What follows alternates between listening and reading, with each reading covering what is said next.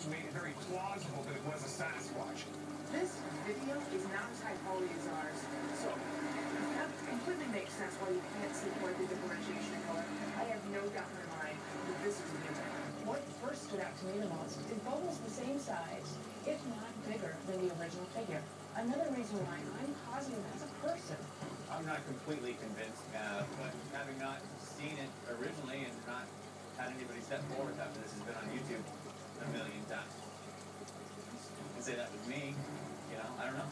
I'm hung up on the colors. Yeah, so I can see the guys in the boat, so it's been hat, clothes, skin, colors. Can't see it on the figure on the left.